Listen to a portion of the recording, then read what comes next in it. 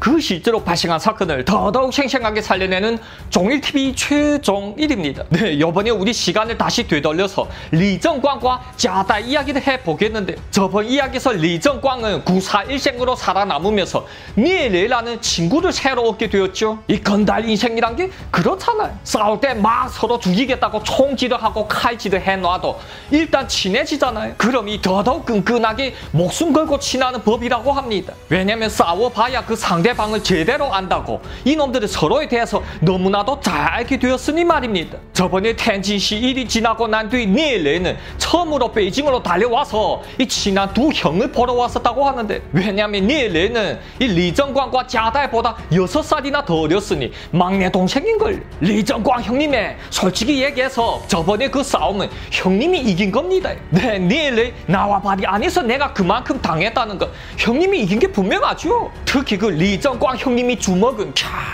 저 까딱 한 방에 기절할 뻔 했다니까요. 그러자 아니야 아니야 아니야 아니야. 그번 싸움은 너가 이긴 거야. 내 리정광 20년이 강호 생활에 이 처음으로 죽을 뻔했었거든. 내 그새 너무나도 바빠나서 이 유언까지 남겼다는 게 아니겠니? 하하하하. 그러자 이 둘을 흐뭇하게 지켜보던 짜달가 한마디 하는데 자자 이는 분명 하늘이 우리 세 명한테 내려준 최고의 선물이 분명하다. 인생까지 건뭐 별거 있겠나? 正所谓人生在世几十回，何不潇洒走一回라고. 인생이 뭐 긴 것 같냐? 한 몇 짝에 살다가 가보자라는 뜻인데. 때는 이미 93년도 리정광이 2002년도에 총사를 받았으니 딱 그냥 3천날 정도밖에 안 남았다고 합니다. 이는 리정광뿐만이 아니라 우리도 다 똑같은데 다들 뭐 천년 만년 살 것처럼 스트레스를 받으며 아둥바둥 살고 있지만 이제 남은 날짜를 대충 세어보세요. 다 그냥 개뿔도 쓸데없고 딱 그냥 내 지금이 행복이 제일 중요한 걸. 그렇게 이 세 명은 인생 마지막 길에 서로 만나게 되어서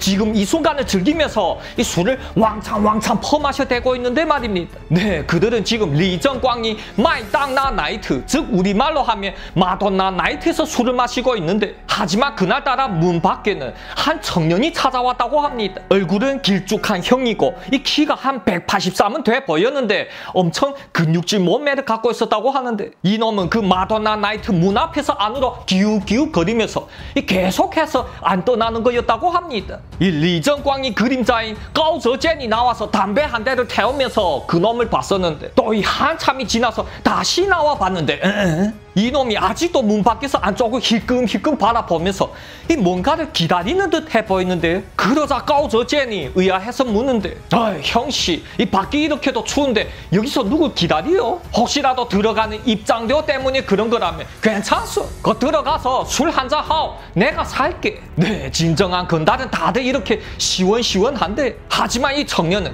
괜찮습니다 따거. 내는 그냥 여기서 기다려도 됩니다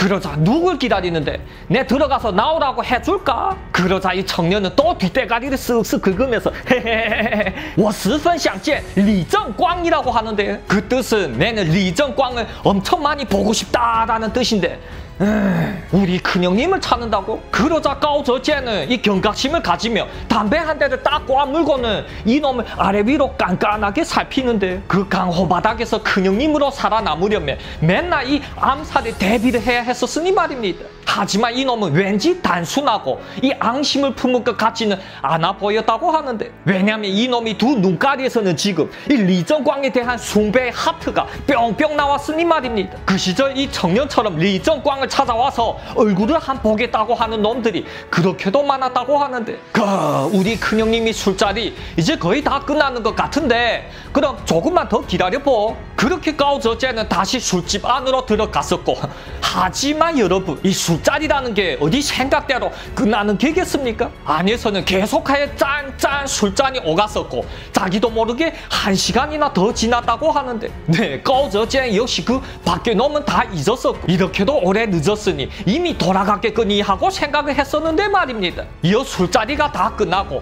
다들 뜨끈뜨끈한 사우나에 가서 푹 담그려고 나가는데 그 청년이 아직까지도 이 밖에서 기다리고 있는 게 아니겠습니까? 때는 이미 12월이라서 이 날씨도 엄청 추운데 말이죠. 하지만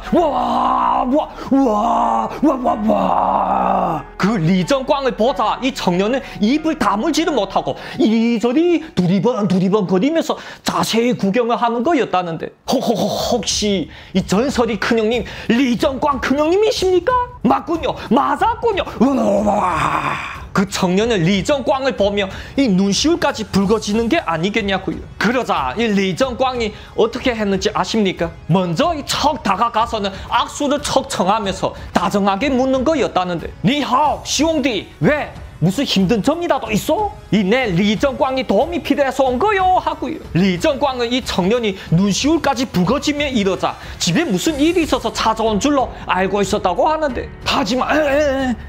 리정광이 먼저 악수를 청하다니 그 청년은 두 손으로 리정광이 손을 버럭 잡으면서 막 격동되어 얘기하는데 와 형님의 네네 내 형님이 팬입니다 내 이름은 리창화라고 형님을 따르고 싶어서 저 길림성에서 기차 타고 왔습니다 받아, 받아주십시오 형님 네 그 시절 리정광은 거의 매마다 이러한 팬을 볼 수 있었다고 하는데 그야말로 그 낭만이 살아있던 시절에는 리정광 같은 의리 큰 형님이 아이돌이 아니었을까요 그러자 팬? 팬?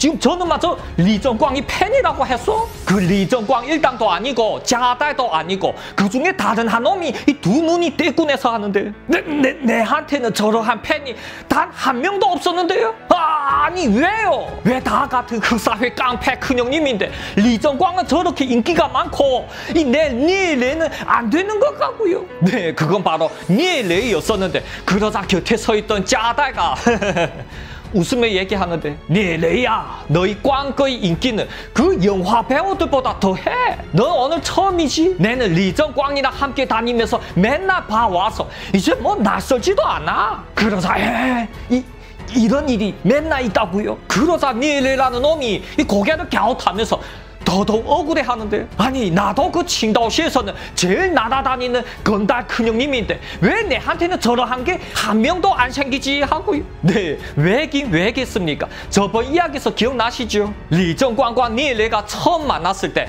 그대로 리정광이 먼저 예의를 차리며 이 악수를 척 청했었는데 니엘레라는 놈이 어떠했었죠? 그 악수를 청하는 리정광이 손을 툭 쳐버렸잖아요. 이러한 사소한 일에서 우리는 한 사람이 성품과 스타일을 알 수 있는데 리정광은 항상 주위 사람들한테 정이 있고 이 예의를 다 갖추지만 니엘레는 어떻죠? 네, 나중에 조폭시대 시리즈가 끝나면 이 니엘레의 강호 이야기를 또 정식으로 시작하겠는데 이놈의 이야기도 그 쪼에난 이야기처럼 아주 그냥 아짜아짜하고 짜릿합니다. 니엘레는 리정광과 완전 정반대 스타일로 오만하고 이 세상 모든 사람들을 자신보다 아래라고 생각하면서 이 척 내려다보는 스타일인데 하지만 리정광은 어떻습니까? 이 먼저 척 다가와서 악수부터 청하면서 그 누구한테나 멘트를 다 주는데 그러다 이 리창화라는 놈이 얘기하는데 형, 형님 잠시만요 잠시만 기다려보세요 이 리창화가 주위를 두리번 두리번 거리더니 아 여기 있네 하고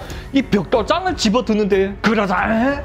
이 경각심이 높은까우저젠이 리정광이 앞을 척 막는데? 네, 이 리창화라는 놈은요 이 벽돌장을 앞에 집이 벽 쪽에다가 왼손으로 딱 갖다 대더니 형님 자, 잘 보십시오. 이 오른손 주먹으로 딱 하고 냈다 가겨대자 툭! 그 벽돌장은 툭 하면서 이 산산조각으로 부서지는 게 아니겠습니까? 네, 이 보통은 벽돌장을 테이블이 모서리에다 딱 놓고 이 탁 내리가서 두동강을 내잖아요. 이런 거 이 기교와 방법이 있으면 되는 건데 하지만 이 리창화처럼 이렇게 벽에다 갖다 대고 산산조각 나게 부서지게 하는 거는 이 웬만한 주먹이 아니면 안 되겠는데 어떻습니까 형님? 저 이만하면 형님이 수하로 될 자격이 됩니까? 네, 그야 말로 이 리창화라는 놈은 한 가닥 하는 놈이었다고 하는데